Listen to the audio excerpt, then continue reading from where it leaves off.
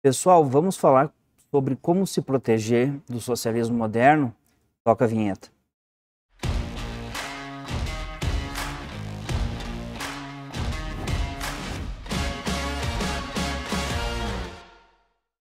Olá pessoal, meu nome é Carlos Schreier, mais conhecido como Brasileiro Sem Fronteiras.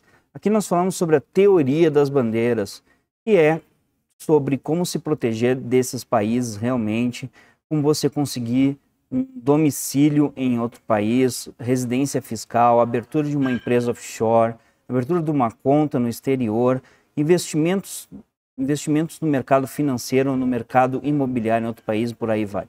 Hoje nós vamos falar sobre como se proteger do socialismo moderno, mas antes a gente tem que saber realmente o que é o socialismo moderno, que é totalmente diferente do socialismo e comunismo antigo, tá? Que era o que se pregava, tá? É, mas antes disso, deixa eu explicar para vocês que eu estou num hotel que está com um pouco de barulho. Espero que vocês estejam ouvindo bem a minha voz, que eu estou com esse microfone que é maravilhoso da DJ, DJI e realmente ele pega bastante assim o som que vem da, da minha boca, tá? É, e também, deixa eu falar onde que eu tô. Eu tô num hotel em uma cidade perto de Aspen, no Colorado. Eu vou dividir aqui minha tela com vocês. Eu espero que ele não desconecte porque é, é do iPad, tá? Então, para quem não sabe, aqui é os Estados Unidos, aqui está a Flórida.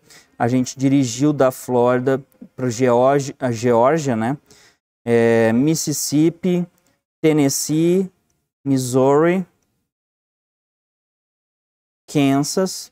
A gente passou aqui por St. Louis, que é uma cidade que a gente tem que falar muito, que tem umas casas que a gente está vendendo por 70 mil dólares. Quem quiser saber mais, entre em contato com a gente.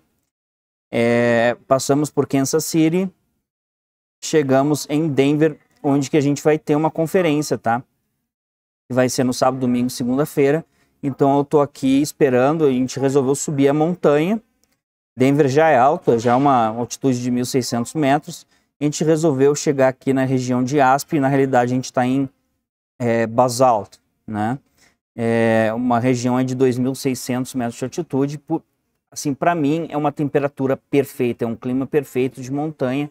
É, no verão, é, tá agora, agora que é, deixa eu ver, meio-dia, a temperatura tá 23 graus. Temperatura no verão é de 12 a 25 graus no verão. E no inverno, claro, neva, chega aí a temperatura de menos 5, menos 10. Mas para mim é uma temperatura perfeita porque eu me sinto bem. Eu me sinto bem em clima de montanha. Tem pessoas que se sentem bem em clima de praia, 40 graus. Eu não.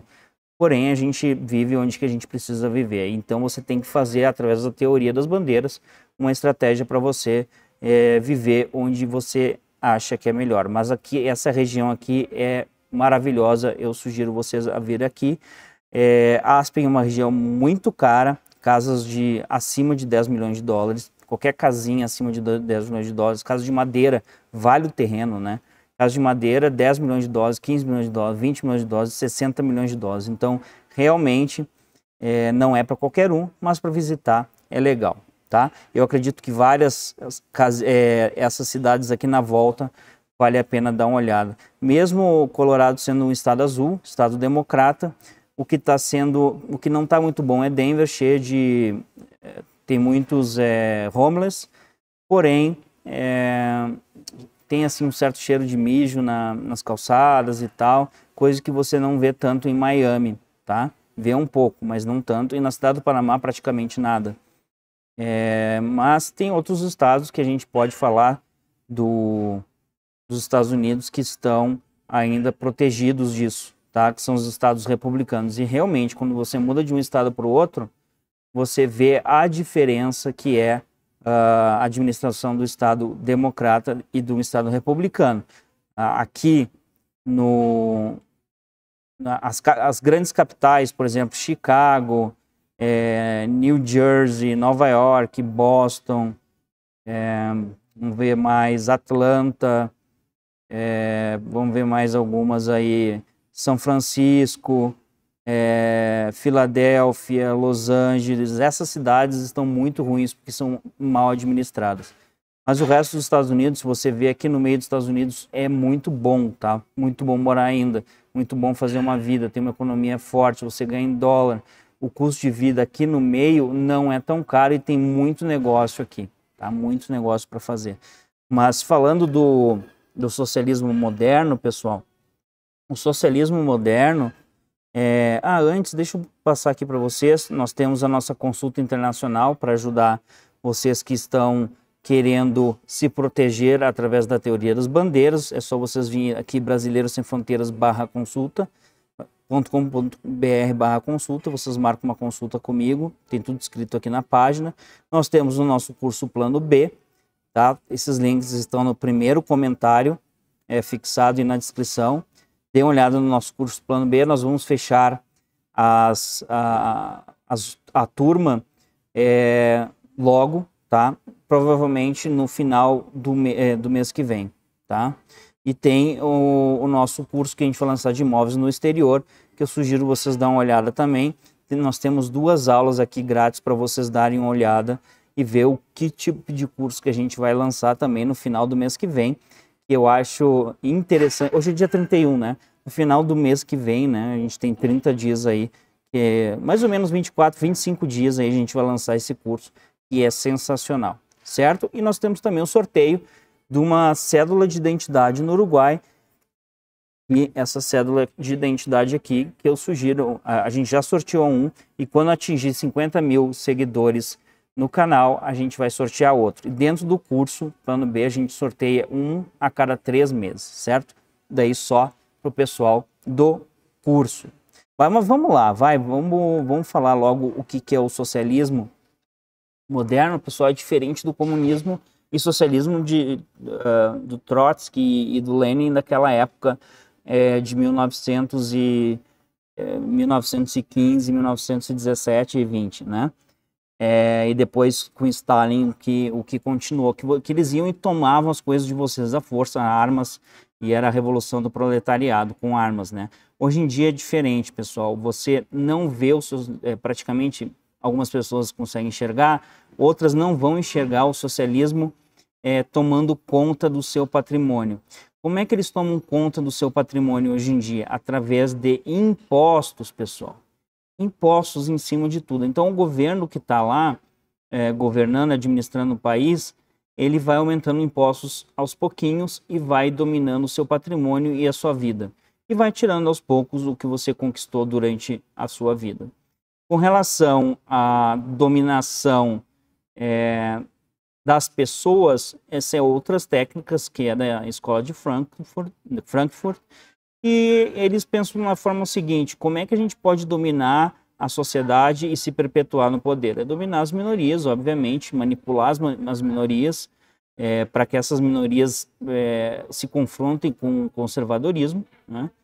É, e também é, eles dominam a, a, a eles fazem a destruição da família, através dessas minorias, eles, uh, eles dão incentivos para esses grupos menores para não terem mais famílias, eles dão incentivo para não terem uma religião, para destruir a igreja, e também uh, na parte das crianças, eles deixam as crianças irem para a escola, mas eles fazem a dominação é, da, da escola. Então a criança se torna um, como, como eu posso dizer, um hospedeiro da revolução.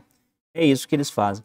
Com relação ao patrimônio, aos poucos eles vão tomando conta do poder, um, um poder centralizador, no qual é, ele vai taxar através da União, entendeu? A taxar através de um governo central é, não dando tanta autonomia aos estados, diferente dos Estados Unidos, que ainda consegue se proteger, e eu acho que os Estados Unidos é um dos países que mais vai conseguir se proteger.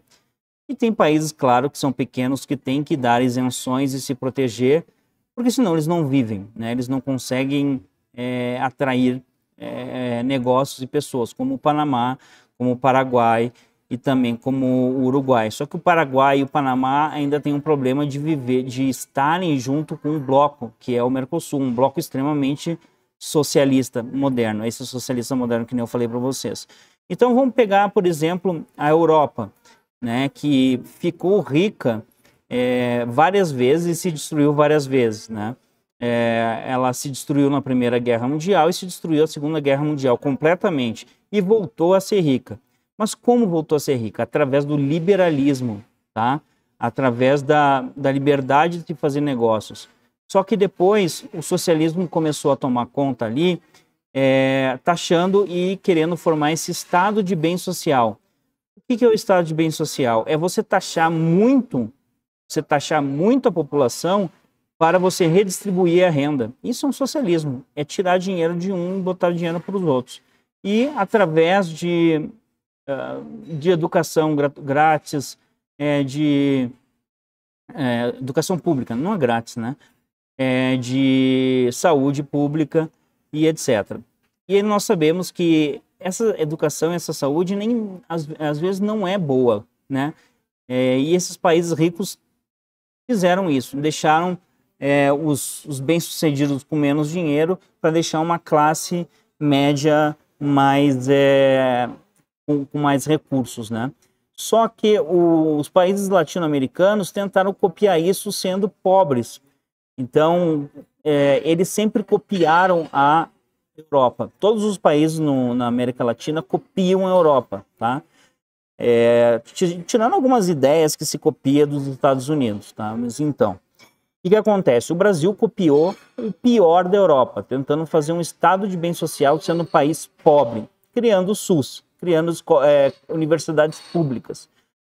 E o que, que aconteceu? Você tira o dinheiro de quem é bem sucedido para é, fazer da é, saúde e universidade grátis, sendo uma porcaria, certo?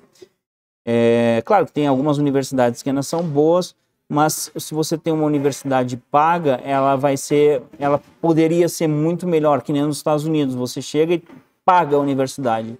Você não tem uma universidade é, é, pública, não, você tem uma universidade pública, mas não gratuita.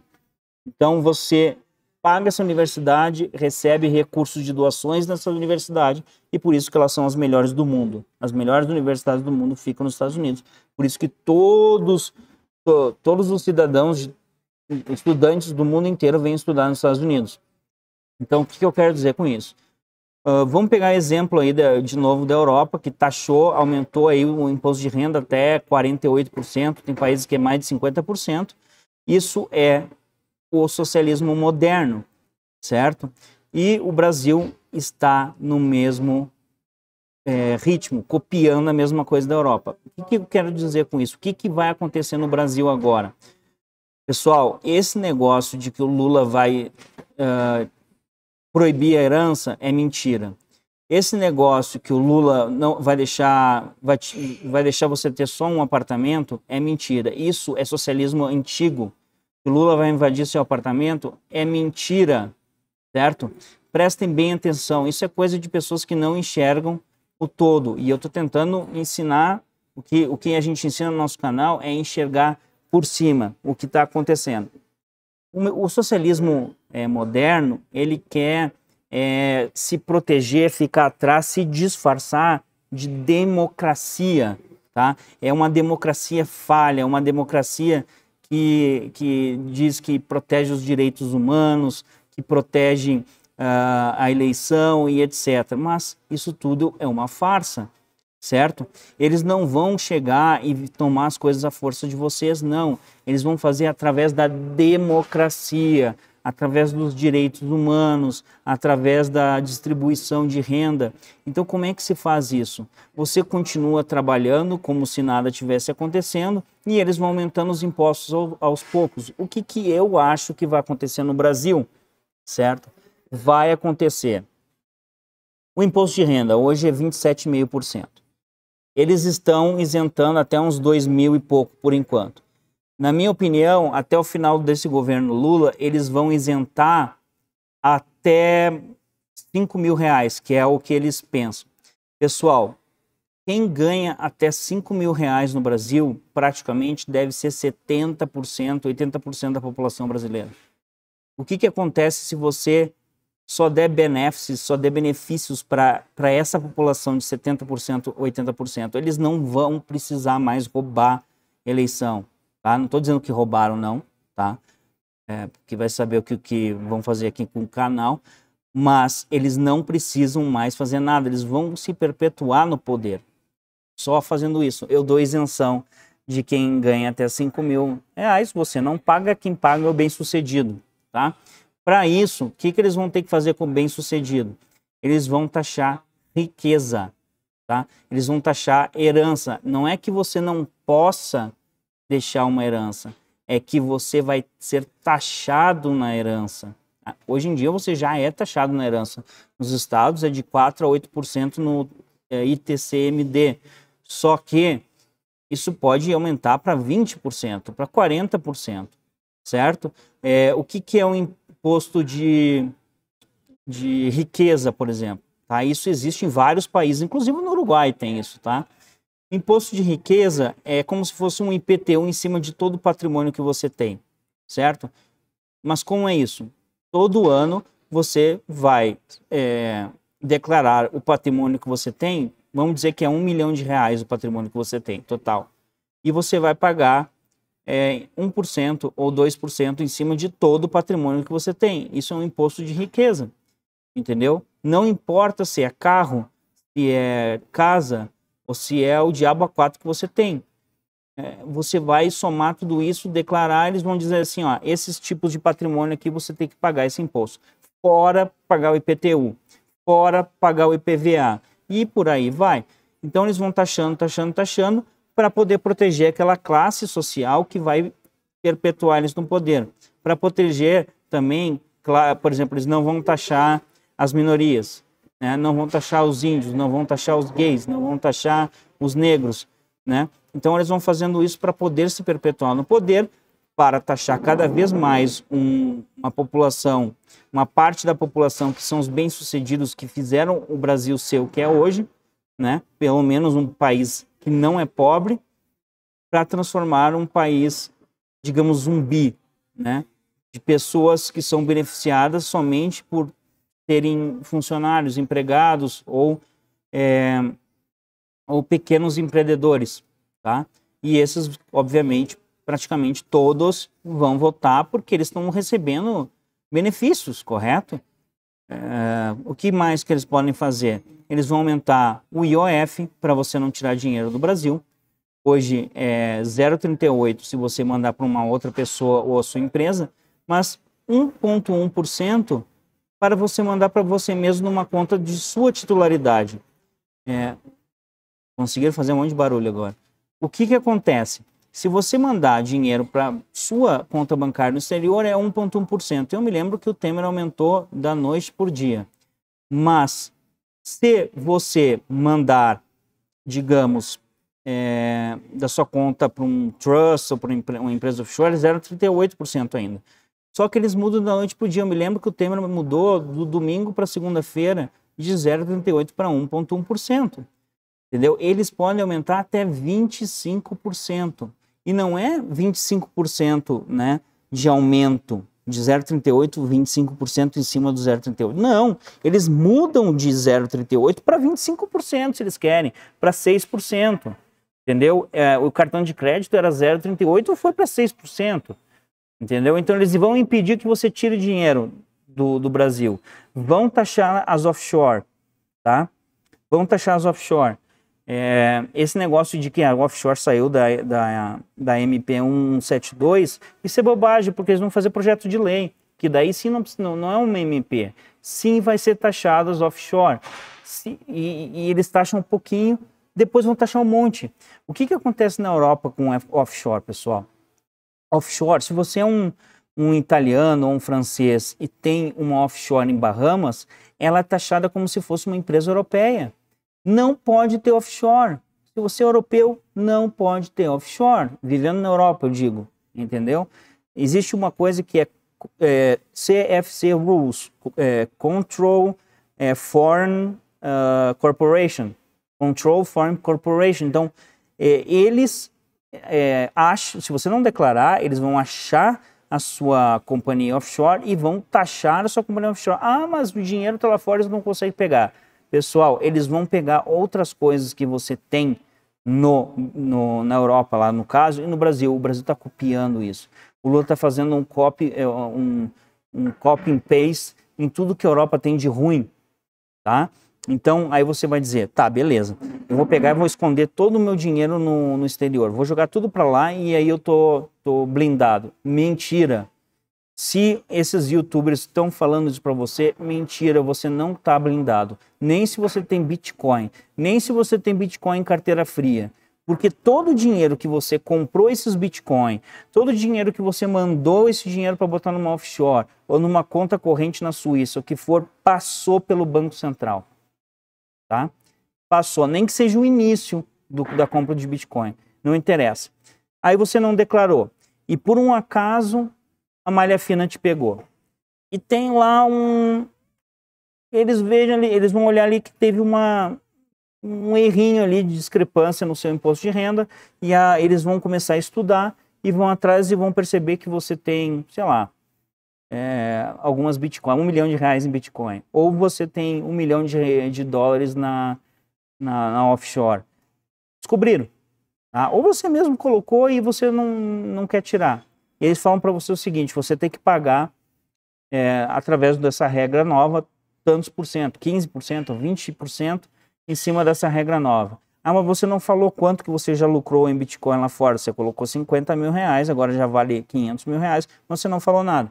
Mas, cara, se eles descobrirem isso, ah, mas não tem como descobrir, tem como descobrir, eles vão te taxar no Brasil. Aí você vai dizer assim: não, eu não vou trazer meus bitcoins, que se foda. Então eles vão pegar e vão bloquear.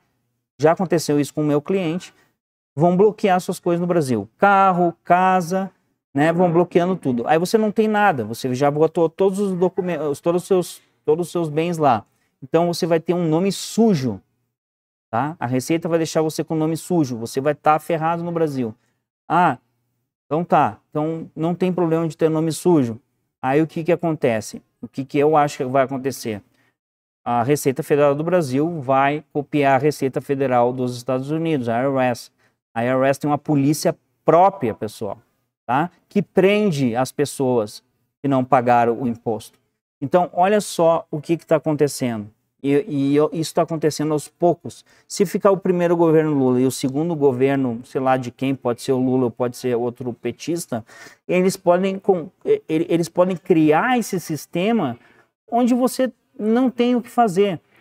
Você não está protegido do socialismo moderno, desse socialismo que vai pegar nas entranhas da sociedade conservadora. Você está ferrado, entendeu? É, e, o que, e como a gente pode se proteger disso? Qual é o único jeito? Esses, esse pessoal que diz só põe o dinheiro para fora e continua vivendo no Brasil, é mentira. Você não está protegido. Pode ir em qualquer advogado, eles vão dizer assim, a ah, compra é, um fundo de investimento via trust, tá? Eu vendo para você também se você quiser. Não estou falando que isso é proteção. Compra uma casa no, em Orlando, também não é proteção.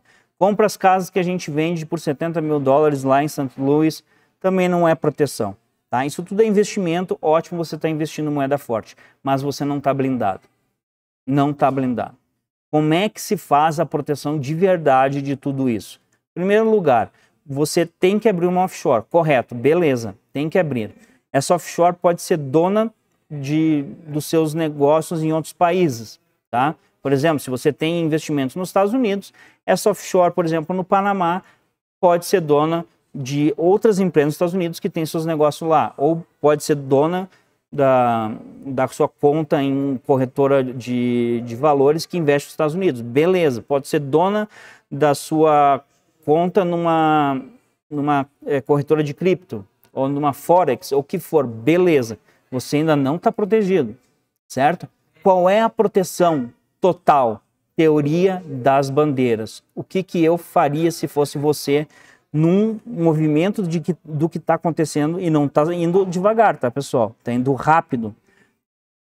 Em oito anos, o Brasil vai ser uma Europa mais ferrada ainda, tá? Pode ser que você nem possa tirar dinheiro mais do Brasil, pode ser que eles não deixem você emitir um passaporte.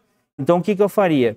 Conseguiria um domicílio em um país que seja tributação territorial, diferente do Brasil, que é tributação é, mundial. Por que, que o Brasil ferra você quando você põe dinheiro no exterior? É porque é tributação mundial. O que você tem no exterior, você tem que declarar no Brasil, pagar imposto no Brasil. eu sugiro você pegar um domicílio no Uruguai, no Paraguai, ou no Panamá, ou em Dubai, que você coloca o seu dinheiro lá e eles são territoriais. O que, que significa? Eles só vão tributar você se você tem uma farmácia naquele país, um supermercado naquele país, um negócio dentro do país. Se você tem renda estrangeira fluindo para lá, eles não vão tributar, diferente do, do Brasil, certo? Você botou o seu domicílio, é, a sua residência por domicílio. Depois, o que, que é mais importante você fazer? É, cria sua empresa, deixa tudo direitinho, põe os seus investimentos, ao invés de Avenue, é, Nomad, essas porcaria aí, você investe através de uma Interactive Brokers, através da sua empresa no Panamá, lá nos Estados Unidos ou na Europa, o que você quiser, ficar mais robusto. Compra seus imóveis nos Estados Unidos através dessa de uma empresa na Flórida que essa empresa no Panamá pode ser dono, você fica blindadíssimo, ou uma empresa em Neves pode ser também. Agora, o que é mais importante para você é você dar saída definitiva do Brasil. Você dá a saída definitiva do Brasil, você não precisa mais fazer imposto de renda no Brasil e todos os seus bens fora do Brasil, o, o Brasil não tem mais controle sobre você. Ele não pode taxar você, ele não pode botar impostos nesses bens. Entende? Então, você completamente muda a sua vida. Você pode viver até seis meses no Brasil, tá? E você coloca a sua residência fiscal em outro país e o Brasil não tem mais o que fazer. Somente os seus patrimônios no Brasil que eles vão poder taxar e vão poder ir atrás. E qual é a outra dica que eu dou? Vende tudo no Brasil e sim, você, se você quiser ter uma empresa no Brasil, essa empresa é um APJ, ela tem a residência fiscal, ela vai pagar imposto. Você pode até transformá-la em holding e a do Panamá pode ser dona dessa do Brasil. Agora, pessoal, vocês vão estar protegidos. Uma coisa que eles ainda podem fazer é diminuir o tempo que você pode passar no Brasil, copiando os Estados Unidos. Os Estados Unidos você só pode passar quatro meses, né? Para não ser um residente fiscal, eu digo estrangeiros, porque um americano ele é residente fiscal sempre por causa da cidadania. O Brasil pode fazer isso também, certo? Daí você tem que renunciar à cidadania. A Austrália diminuiu para 90 dias, pelo que eu sei, então, você no Brasil, por exemplo, se copiarem, você só poderia passar 90 dias no Brasil. Mas esqueçam, o Brasil tem que ser um país que você vem aproveitar, aproveitar a família, é, passear como turista, etc., comer comida boa, se tratar como saúde, operação plástica, é, dentista, tudo isso é bom no Brasil, certo? Mas esqueçam o Brasil por parte de patrimônio, tá? Por parte de é, emprego. Você pode aproveitar o, o mercado consumidor do Brasil estando de fora do Brasil, tendo uma empresa de fora, entendeu? Você pode aproveitar a, o mercado financeiro do Brasil investindo pela Bolsa dos Estados Unidos. Lá tem Vale, tem Petrobras e tudo com em dólar. Então esqueçam isso. A única proteção que vocês têm é fazendo a teoria das bandeiras, é tendo contas em outros países, contas bancárias é uma offshore, por exemplo, no Canadá, no Panamá, é, tendo a residência por domicílio, a residência fiscal no Panamá, por exemplo, ou no Uruguai. E sim, a gente ajuda vocês a tudo isso. Certo? É o único jeito de proteger do socialismo moderno. Deixa eu ver se eu consigo mostrar para vocês aqui. É, se vocês quiserem já arrumar isso para vocês imediatamente, eu posso ajudar caso a caso. Vocês podem marcar aqui uma consulta ou a Silver, que é de 25 minutos, ou a Gold de 50 minutos.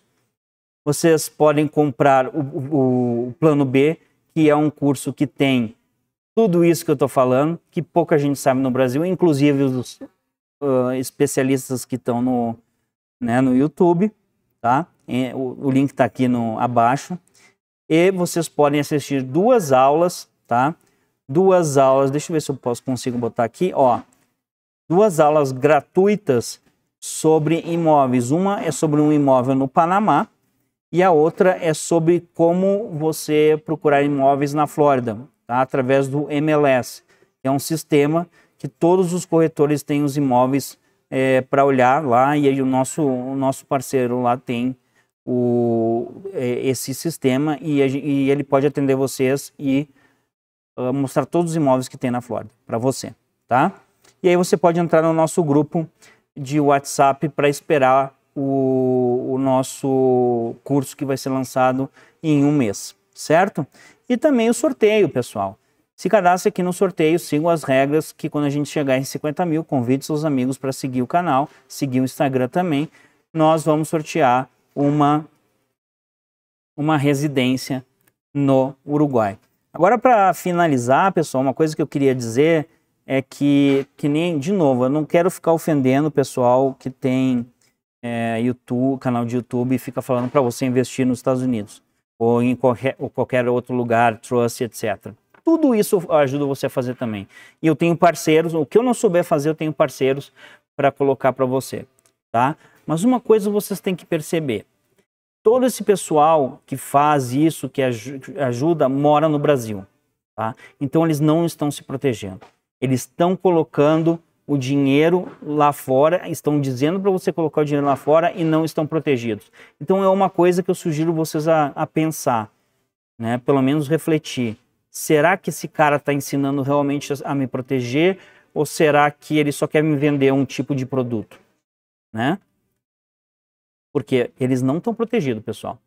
E vão atrás de pessoas que estão, certo? Que não têm residência fiscal no Brasil mais. Essas pessoas, sim, elas estão protegidas. E isso é, isso é sempre uma coisa que eu sempre procurei é, comprar algum produto ou um serviço de alguém que faz skin the game. O que é skin the game? Faz para si mesmo. Eu tenho a residência no Uruguai, eu tenho. Opa, caiu aqui. A residência no, no, no Paraguai, carteira de identidade no Paraguai. Deixa eu pegar um pouquinho aqui. A carteira de motorista do Paraguai. Eu tenho o green card eu tenho a residência provisória ainda no Panamá, carteira de motorista no Panamá, carteira de trabalho no Panamá, sou economista no Brasil, tenho minha carteira de motorista no Brasil ainda, não perdi minha cidadania no Brasil, tenho aqui o, a minha, o meu RG no Brasil, tenho meu passaporte no Brasil, não está aqui comigo. E eu sugiro vocês a fazer isso com pessoas que fazem a mesma coisa para eles, entendeu? Eu posso sim te ajudar certo? É, esse vídeo vai ficando por aqui. Deem aí um, um joinha, sigam o canal e, e ajude outras pessoas, tá? Passe esse vídeo para outras pessoas para seguir o canal também. E quem quiser falar comigo, eu sou acessível. Muitas dessas outras pessoas não são acessíveis. Vocês agendam uma consulta comigo, vocês conseguem falar comigo, certo? É, obrigado. E esse vídeo vai ficando por aqui. Um abraço a todos e até mais.